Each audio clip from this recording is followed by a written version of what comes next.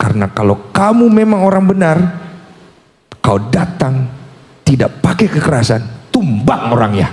Saya nggak ada dalam keadaan emosi, biasa aja. Yang saya bingung, kok kata orang keren banget ya? Jujur loh, saya nggak merasa itu keren. Di situ saya mulai percaya bahwa apa yang mama katakan, taruh kehormatan di atas. Kalau kita salah, kita mawas diri. Supaya ke mana pun kau pergi, walaupun kau tidak punya apa-apa, tapi kamu punya integritas. Kamu punya loyalitas. Kamu punya kejujuran. Kamu punya keberanian untuk berkata tidak. Kalau kamu sudah punya itu semua, Den, percaya. Kamu tidak akan ada orang yang berani pandang enteng kamu. Jadi kalau ada orang udah bicara sama kamu, kalau dia tantang sama kamu, kamu sudah mengalah. Kau datang cari dia. Ini saya ngomong benar-benar. Tapi bukan dengan kekerasan Denny. Tunjukkan dari mana kau datang.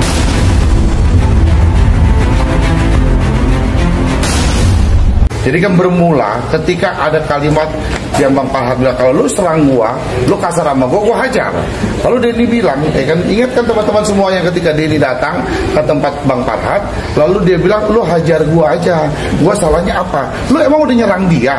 Emang lu udah kasar sama dia? Lu belum bikin video kasar, lu belum nyerang dia, lu udah datang, lu pukul gua aja deh.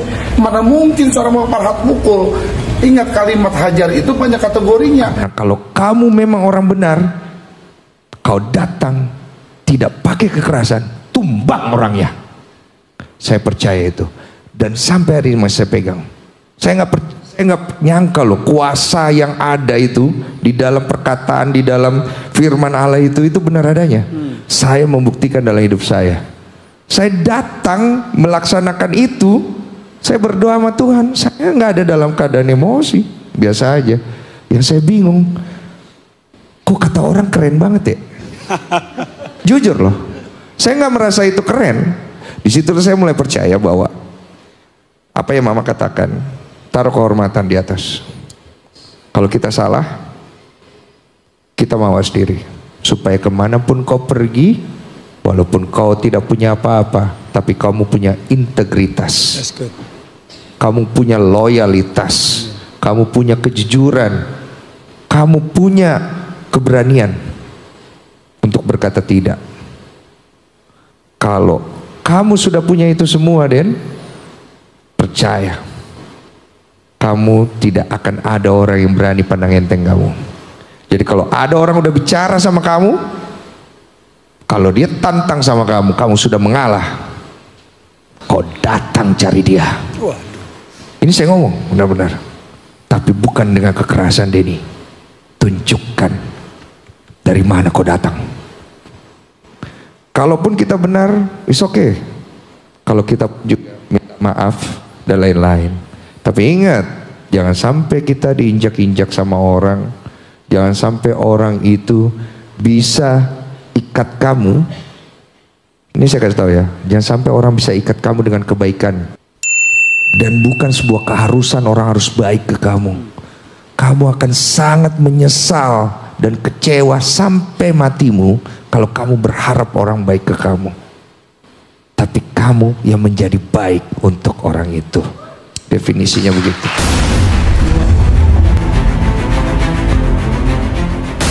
Saya sebagai seorang Bugis merasa terusik dengan pernyataan menantang si Denny Sumargo. Terkait apa yang dia buat pernyataan oleh Denny Sumargo itu, di antara dua etnis di Sulawesi Selatan itu, Bugis dan Makassar itu dia tidak bisa terpisahkan.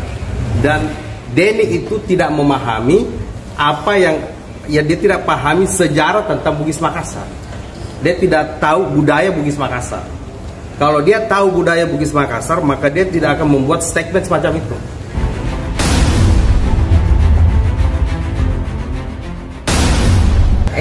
Kemarin didampingi dengan kuasa hukum kemudian pelapor datang ke Polres Metro Jakarta Selatan ya kemudian melaporkan uh, inisial inisial DS. Ya kan ingatkan teman-teman semua yang ketika Denny datang ke tempat Bang Farhat, lalu dia bilang lu hajar gua aja, lu belum bikin video kasar, lu belum nyerang dia, lu udah datang, lu pukul gua aja deh. Mana mungkin seorang Bang Farhat pukul? Pelapor adalah MR yang melapor. Oh, berarti korbannya untuk di laporan polisi hmm. ya di laporan polisi. Hmm. Tapi kalau di kronologisnya, di kronologisnya itu bahwa DS mendatangi uh, rumah WS itu. Eh, VA, mohon izin. FA, FA. Oh itu. Yang melaporkan adalah MR. Lapor ini siapa? Siapanya? Siapanya FA? Ya, itu dia nanti di dalam. Ya, jadi kita di dalam itu. Itu. Orang tua saya itu kaget melihat gaya Denny gitu Lalu saya pikir dia bertamu udah clear, tiba-tiba di luar dibuat seolah-olah saya ini adalah orang tidak berdaya ketakutan. Padahal saya di, dia datang ke rumah saya, dia minta pukul saya. Terus apakah dengan kesopanan saya ini membuat saya penakut?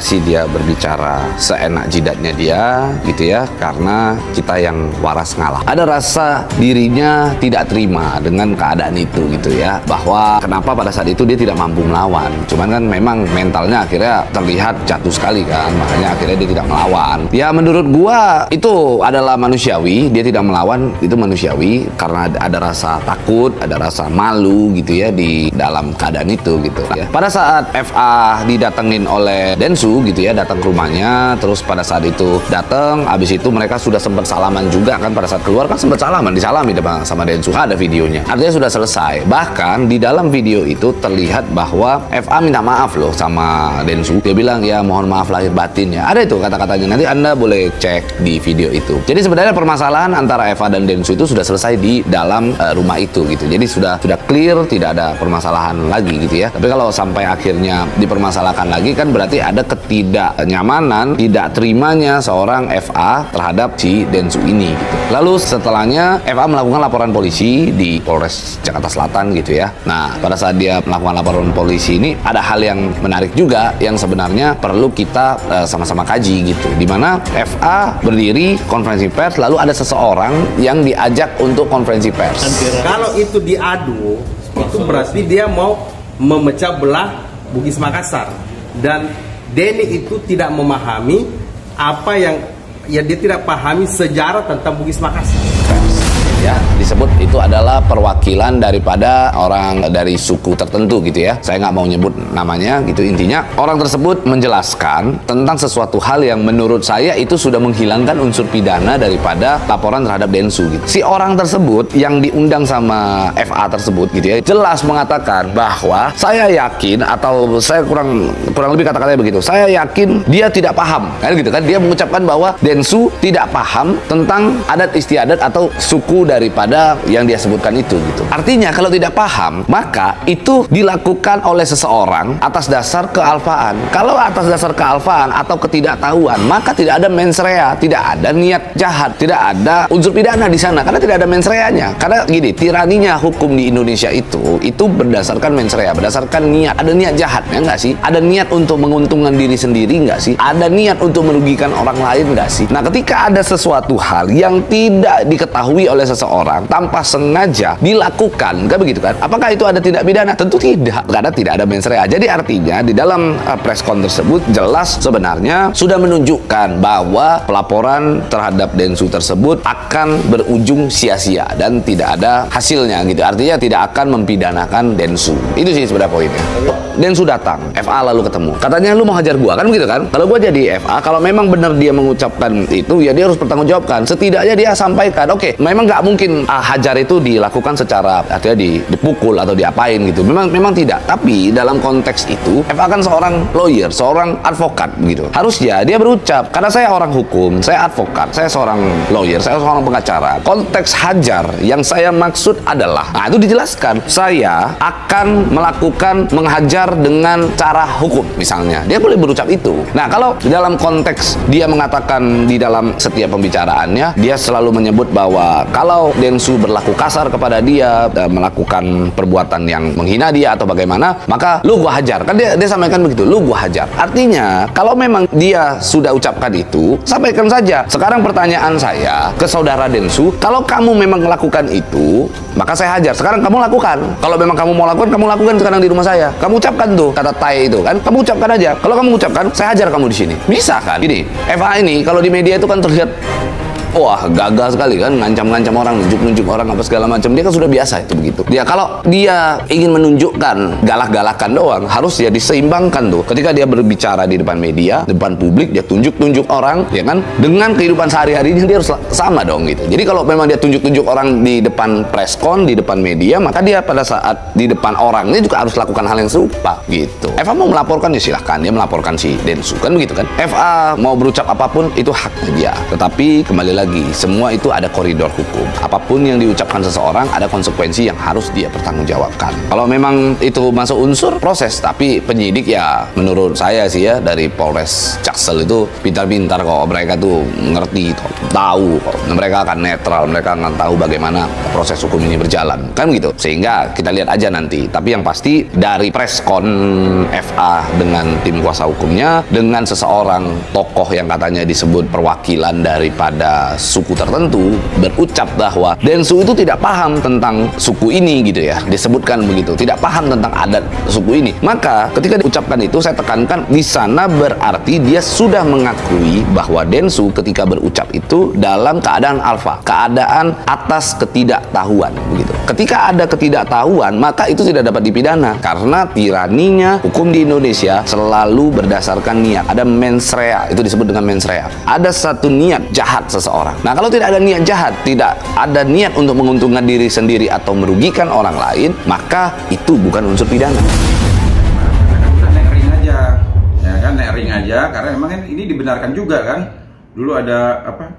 eh, chip siapa itu kan? Chip ini sama eh, si Apido Gordon Blue apa sampai Apido nah, Tarung juga kan. Ada juga Ricky, Ricky Prasetyo sama si Eza Kubuser kan? Tarung juga. Nah ini kan dibenarkan juga. Nah, menurut saya udah daripada dari ini parat ini kan kadang-kadang kita bingung juga kan.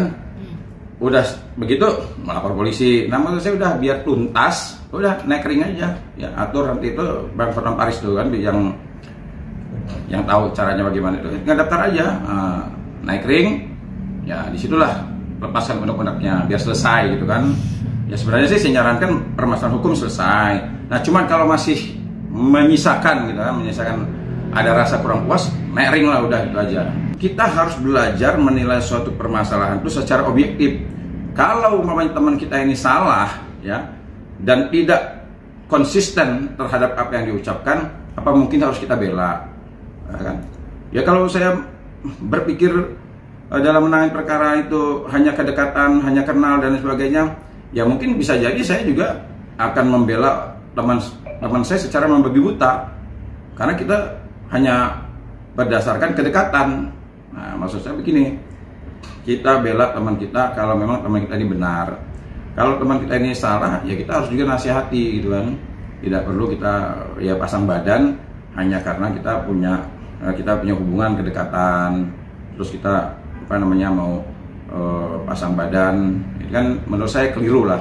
Jadi ujaran kebencian di mana jadi ujaran kebencian itu adalah kalimat ajakan kepada orang untuk membenci suatu golongan Nah, kalau seandainya ajakan atau kalimat itu yang dikeluarkan oleh Bang Denny Sumargo itu ternyata ketika dia mengeluarkan kalimat seperti itu muncullah kebencian nah, terhadap satu golongan atau suatu kaum itu namanya ujaran kebencian. Tapi kalau seandainya ketika dia menyampaikan sesuatu tidak muncul kebencian, tidak ada keresahan, keonaran, nggak ada. Jadi kalau seandainya ada keresahan, ada keonaran, ada kebencian, maka memenuhi unsur. Pendapat saya ya, pendapat saya, kalaulah seseorang mengucapkan suatu kalimat dan menimbulkan kebencian atau keonaran, maka masuk dalam unsur ujaran kebencian.